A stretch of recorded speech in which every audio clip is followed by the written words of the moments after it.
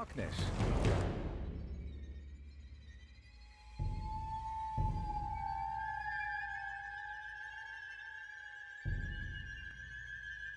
Een val van de trap, een auto-ongeluk, een buikoperatie.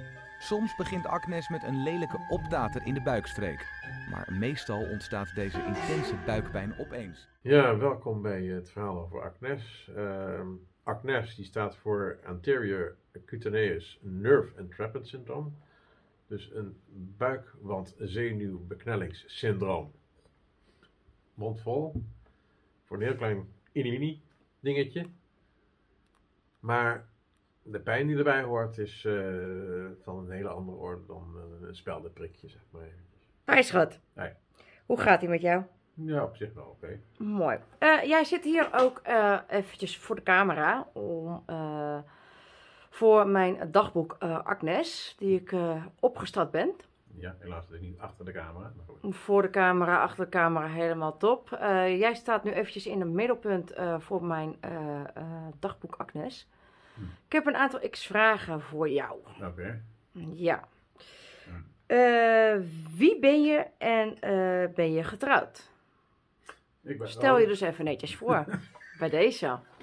Ik ben Roderick en ik ben eh, met jou getrouwd. En met wie is jij? Dat ben jij, Karin, Ja, denk ik toch. oké. Heb je nog wat eh, meer te vertellen? Wie je bent, wat je doet in je dagelijks leven? In het dagelijks leven ben ik gewoon Roderick. Ja. Ik ben lekker aan het eh, spelen varen de hele tijd. Af en toe naar de zaak, Ja.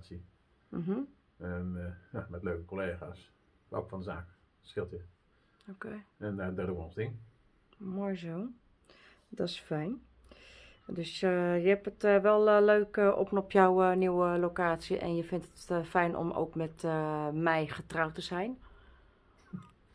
Leuker, ja, het is een, een nieuwe locatie, is natuurlijk weer wennen, anders. Eh, maar ja, de collega's zijn algemeen eh, vriendelijk, relaxed. Mm, eh, voorkomend, eh, behulpzaam. Eh, ja, ik mis de oude locatie natuurlijk wel. Want daar wist ik dus qua- alles van de hoed en de rand. Van wat moet er gedaan worden, wat, eh, wat zijn de dingen, wie zijn de mensen, waar moet je naartoe als je een vraag hebt.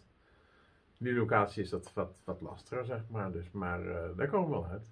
Dat is mooi.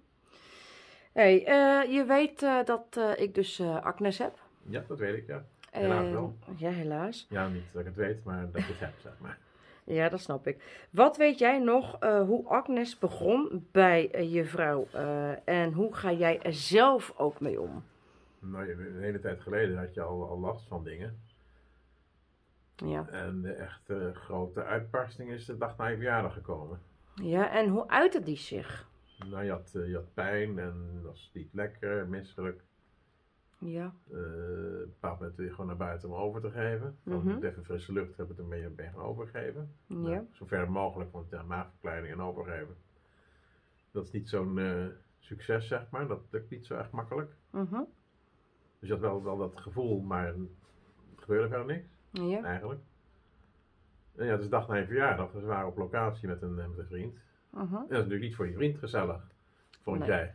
Nee, zeker Want niet. ja, je, je gaat met je vriend even gezellig eventjes eh, op locatie en dan eh, ben je misselijk. Ja, dat is niet leuk voor jou, niet leuk voor je vriend. En je zit toch met van, nou, ik wil toch aandacht geven, maar dat kan weer niet. En dit en dat. Dat is een lastige combinatie. Ja, Dus toen heeft het zich een beetje geopenbaard. Ehm,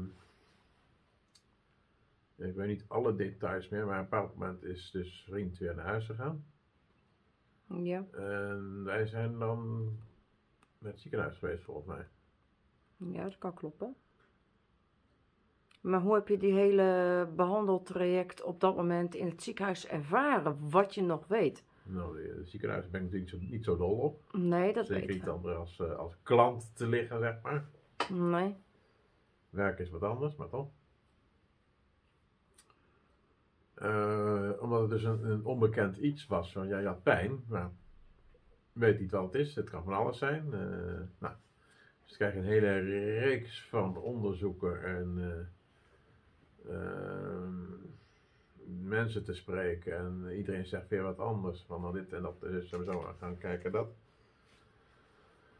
En dan moet je ook nog een bloedonderzoek doen, van misschien dat daar iets uitkomt. En dan nog meer onderzoek, eh, weet ik wat, scans, foto's, weet ik wat allemaal gedaan is met jou. Ja. En het duurde maar, duurde maar, duurde maar. Mhm. En ondertussen zat je met pijn. Ja. En het onderzoek had die pijn niet daar.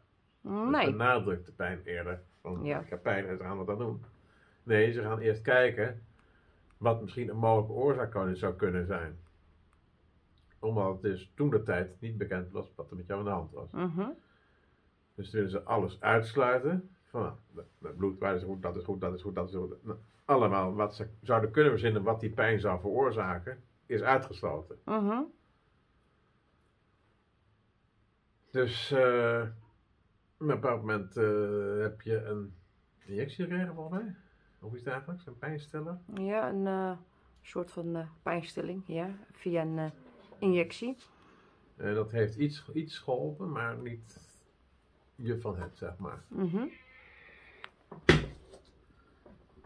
Toen zijn we weer naar huis gegaan, laat volgens mij. Ja, dat is Ik laat. Ik weet niet hoe laat het was, maar laat genoeg. Volgens mij eh, konden we net en net nog geen eh, eh, McDonald's halen. Volgens mij. Of wel, ik weet het niet meer. Nee, Want ik had er wel zin in. Ja, oké, maar het was al gesloten. was Ja. En de volgende middag moest ik weer werken, volgens mij. Ja, smiddags moest je werken, maar s ochtends vroeg moesten we heel vroeg daar weer wezen. Ja, want we hadden gezegd, nou, we gaan niet je gaat niet naar huis. We gaan je niet opnemen. Gaat lekker naar huis. eh, dan we je graag morgen weer zien. Dat was een maandag, volgens mij. Ja, dat zal. Dus heel vroeg eh, daarheen. En dan moest eerst bloed geprikt worden. Dan moet je daar weer, weer gaan wachten, wachten, wachten. Ja, later bleek het van, nou, je had best een spoedje kunnen zijn. Je moest bij de spoedpolie terecht. Ja. Dus. Maar het was een afspraak gemaakt. Dus ik had gewoon een nummertje getrokken van, wacht, rij dat. Nou, wachten, wachten, wachten. Nou, eindelijk weer bloed prikken, weer niks. Dus maar de tijd die begon te dringen. Dus ik vond het wel spannend van wat gaat er nu gebeuren. Dus ik had de planning eh, ingelicht van eh, het, eh, weet niet hoe lang het nog gaat duren, maar misschien dat daar iets mee geregeld kan worden op de zaak. Van dat ik iets later ben. Ik weet niet hoe laat, maar wat. Nou, dat was allemaal oké. Heb ik nog de collega's even bericht van ik ben morgen wat later om het ziekenhuis, vrouw dit en dat. Ik denk van nou prima, is dat geregeld. En, eh, nou, jij nog steeds bezig met allerlei onderzoeken en, eh, en uitsluitingen en dergelijke. En, en die pijn die bleef maar, ha- maar hangen. Want staan kon je niet, lopen kon je niet, zitten kon je niet, eigenlijk alleen maar liggen. Dat, het, dat, de, dat de spanning eraf haalde, zeg maar. En, eh, nou, de ene arts, de andere arts, die riep nog een derde arts erbij. En nog weet ik hoeveel artsen erbij zijn geweest. Ah, volgens mij heel veel. Ja. Te veel. Op dat moment waren er drie artsen in de kamer en je zegt van nou, voor mij heb je dat. Ging die eerst, eerst kijken, vervoelen. Op een moment drukte hij ergens op. Nou, je sprong wat door het plafond heen van de pijn. Joehoe. En hij zei van nou, er is maar één pijnpunt. En dat is het. Dus dan zal dat waarschijnlijk eh acnes zijn. Nou, wat is nou acnes? Niemand had er wat van gehoord.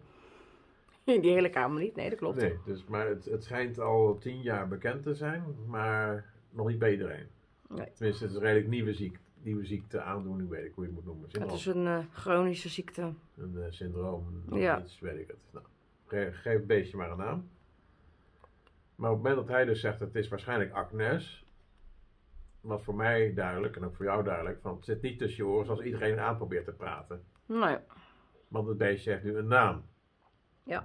Het is een bekend iets, alleen, ja, bekend, eh, ze weet wat het is. Hij, hij wist wat het is, wat het was, maar het is niet algemeen bekend. Dus dat is wel even een punt van, van zorg van, oké, hebben mensen dus opeens een, een, een vage pijnklacht ergens, die, waarbij ze dus door het plafond springen, dan misschien is het wel een zenuwbeknelling, zoals in dit geval bij jou. Mhm. En eh, dus vlak nadat hij een diagnose gesteld was, is hij dus met medicatie gekomen volgens mij. En je lag te creperen van de pijn. En, en na die injectie stond je bij, bijna fluitend weer op te lopen en, en te doen. Yep, klopt, correct. Klopt. Maar Dus- hoe ga jij er zelf mee om op dit Zo, moment? Ja, dat is lastig natuurlijk. Je kan, je, je kan niks. Nee, klopt. Dus eh, ja, wat moet je doen? Hoe ga je ermee om? Ja. Hoe denk jij dat je ermee omgaat? Ik denk dat ik er niet mee omga, maar goed, dat zal wel anders zijn. Je moet toch bepaalde mensen naar het ziekenhuis toe of voor weer een vervolginjectie. Yep. En dan moet ik even kijken van nou, eh, hoe gaan we dat allemaal redden? Mhm. Klopt. Dus dat is eh, altijd weer even een, een lastig denkproces. Maar goed. Hoe vind jij eh, hoe artsen met acnes omgaan bij mij? En wat zou jij ermee eh, mee willen geven aan artsen die eh, mij zien of mij behandelen? Misschien een hele lastige vraag. Ja, dat is zeker een lastige vraag. Omdat, Maar dus Om, omdat jij dus ook ouders hebt met, met medische achtergronden. Ja, Dus ja, weet- de meeste medici, mijn, mijn inziens, weten niet van het bestaan van acnes af. Zeker omdat de laatste tien jaar pas redelijk wat meer eh, bekendheid krijgt, zeg maar, maar nog niet wijd verspreid. Hè, zoals eh mazelen. Iedereen weet wel wat mazelen is. Dat is al zo oud. Eh, pokken, niet, niet maar een acnes. Ja, acne, dat is weer wat anders. Maar acnes is ja, die zenuwbeknelling. En eh, ja, dus de artsen die jou gaan onderzoeken, die, die zijn daar niet mee bekend. Die kennen alleen maar van, ik heb iemand bij pijn en die zegt acnes, ik weet niet wat acnes is. Nou, dan ga je misschien even kijken van wat, wat is acnes nou precies. En die komen dan met medicatie aan. En eigenlijk het enige wat je nodig hebt in het ziekenhuis is even zo'n zo'n eh, injectie met die medicatie. Dus een, eh, een, eh, een in combinatie met een ontstekingsremmer, weet ik wat. antibiotica. Het een, eh, het een versterkt het andere. En, maar toch, omdat ze dus onbekend zijn, willen ze graag eerst weten van, is het nog steeds hetzelfde? Of is het wat anders? Het is natuurlijk logisch. Maar jij bekend, bent bekend met acnes inmiddels. Dus je weet, De pijn, hè? als je die pijn hebt, wat het dan moet zijn. Mhm. Niet dat het opeens iets anders is. Nee. Dus in dat opzicht eh, zou ik de arts willen adviseren. Luister dan eventjes precies naar de pijnklachten van de patiënt. Die zegt dat heb ik al eh, tien keer het, hetzelfde ervaren. Eh, en die en die medicatie die werkt voor mij. Kijk maar in het dossier. Ja. En, en dan daarvan kunnen ze zeggen, nou dan gaan we daar mee verder. Mhm. En hoe vond jij ook eh, de eh, afgelopen keren dat we eh, in het ziekenhuis waren, dat, dat en dat er aan mij een pijnscore werd gevraagd? Dat er iets heel anders werd, werd opgeschreven. Hoe, hoe denk jij dat en dat daar wat beter mee om kan gaan? Of heb jij nog tips of tricks? Nou, er wordt gevraagd een pijnscore van 1 tot 10. Yep. Nou, als jij dan een 10 zegt en er wordt 7 genoteerd in het dossier, dan doe je dus in wezen aan, eh teniet aan eh, de informatie die de patiënt jou geeft. Kijk, als jij zelf vindt dat die informatie niet correct is, dat is geheel aan jou. Maar de patiënt geeft aan 10. Zet dan ook 10 in het dossier en niet maak er een 7 van. Want iemand anders die het dossier krijgt 7, oh het zal wel 4 zijn. En dan zegt van nou, het is 4, dan zal er nog ietsje afgaan 3. Nou, in plaats van 10 wordt het dan 3. Ja. Dus ja, hou je dan aan het protocol en geef duidelijk aan wat de bepaalde pijnscores zijn. Eh, want iedere pijnscore is voor iedereen individueel anders. Mhm. Dus als ik jou met een mes steek, dan ben je van nou dat is vervelend. Maar ik zou zeggen van, nou, van auw, eh, wil je dat laan aanladen? ja. Dus mijn pijnscore is dat moment hoger dan die van jou met dezelfde hoeveelheid eh, pijninflictie, zeg maar. Mhm. Want, eh, want, want stel, de, eh, de, jij en jij hebt zo'n pijn. wat, en wat is ongeveer jouw pijngrens? Ik heb een veel lagere pijngrens dan jij. Dus iets doet me eerder pijn dan het jouw pijn doet, heb ik het idee, zeg maar. En waarom heb jij die idee? Ja, mannen algemeen zijn wat kleinzeriger, dus dat is logisch. En jij gaat eh, door waar anderen al eerder zou zijn, al- zou zijn afgehaakt, zeg maar. En waarom denk je dat? Ehm, omdat je al een, een, een gewenningsperiode hebt met pijn, zeg maar. Ehm, hoe moet je dat uitleggen? Eh, als pijn ineens komt, bijvoorbeeld je steekt je hand in het vuur, auw, dat doet pijn, brand. Dan krijg je een pijnprikkel. Maar als je langzamerhand eh, je hand op een, een koude plaat legt en die plaat wordt ietsje warmer, warmer, warmer, warmer, warmer, tot een bepaald moment het te heet wordt. Maar op het moment van te heet heb je al een gewenning aangehad. Dus als jij je hand oplegt op die koude plaat, die wordt warmer, warmer, warmer. Je hebt je hand erop liggen en ik leg mijn hand op, dan is het voor mij van, oh, het is heet. En dan hou jij je hand eraf van, nou ja, het is, het is warm genoeg. Ja. Dus in dat opzicht, omdat jij al een gewenning hebt aan pijn, Mhm. algemeen, eh, heb ik dus een, een, een lagere eh, pijngrens, zeg maar. Ik heb eerder last van pijn dan dat jij zegt van, nou, ik heb er nu echt eh, behoorlijk last van. Ja, oké, want inderdaad, ik heb een hele hoge pijngrens. En ook en ook al ga ik nu inderdaad heel erg van de pijn, ik ga nog even door, ja. Ja, nou, dus ik bedoel maar. nou, de laatste vla- vra- vra- vraag, vraag, ja hoor, hoor mij. Wat voor invloed heeft het op jou, privé zelf, ehm, eh, op op mijn pijn? Wat, wat en wat doet het met jou ehm, qua, eh, qua, ehm, ja, eh, qua jezelf, hoe jij je eronder voelt? Ik weet dat het bij jou altijd vaak gewoon eigenlijk in een soort van la wordt gedropt en, eh, dat, en dat komt wel een en een andere keer. Maar hoe ga jij er zelf mee om met de pijn die ik heb? eh, zoals eh, we hebben drie honden, er komt een hele hoop op jouw schouders terecht. Ja. Hoe ga jij ermee om? Nou, het is doen wat nodig is, zeg maar. Hoe je met de riemen die je hebt. Ehm, ja, ik kan niet zeggen dat ik jouw pijn overneem. Voel wat jij voelt, zeg maar. Hoewel ik soms eh, het idee heb dat ik, redelijk empathisch ben. Dat wil zeggen, je neemt het gevoel over van iemand anders, qua emoties. Dat soms last van, is het van mij of is het van jou? En als dat te veel wordt, zeg maar, dan komt automatisch een blokkade op. Dan voel ik helemaal niks meer. Dus dan is het gewoon eh, logisch gezien van wat moet er allemaal gebeuren. En dan wordt dat stapsgewijs afgehandeld. Een, een afvinklijstje zeg maar. Van kijk, de honden moeten uit, er moeten boodschappen gedaan worden, er moet dit gedaan worden, dat gedaan, dat, dat gedaan worden. Dus het lijstje afgewerkt. En daar zitten geen emoties bij meer bij, zeg maar. Die zijn allemaal geblokkeerd op een of andere manier. Ja, Dus ja, hoe ga je mee om? Niet. oké. En wat eh, wil je nog aan de kijkers zeggen of meegeven over het eh, ja, syndroom of, of hoe je het ook maar noemen Ja. over Agnes? Wat, en wat wil je de kijkers nog meegeven als laatste?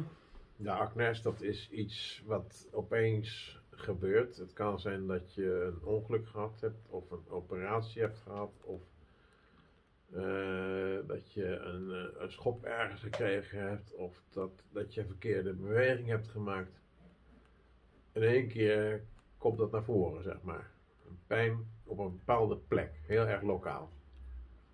Hè, bijvoorbeeld hier in mijn vinger, precies hier in het midden, daar zit pijn. En daar weer niet. Dus als ik hier tegenaan druk, dan van ah, springt het plafond, pijn. En dat is een continue pijn. Maar het gaat met vlagen op en neer. En meestal is het niet acceptabele pijn. En ja, eh, het kan van alles zijn. Dus als jij het idee hebt van ik heb nu een continue pijn. eh, ja, moet ik dat zeggen? Een, een stekende, drukkende pijn. Ga dan eventjes naar, naar een, medicus, een arts.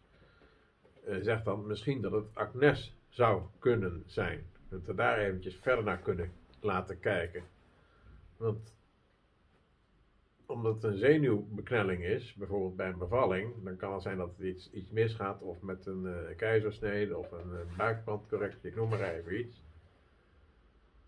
Dat zijn dus de, de, de, de buikpandpijnen. Vandaar die acnes, dat is dus dat het eh, in, in de lage regio een eh, beknelling is van de zenuw. Het is een syndroom inderdaad. En, ehm, vandaar ook,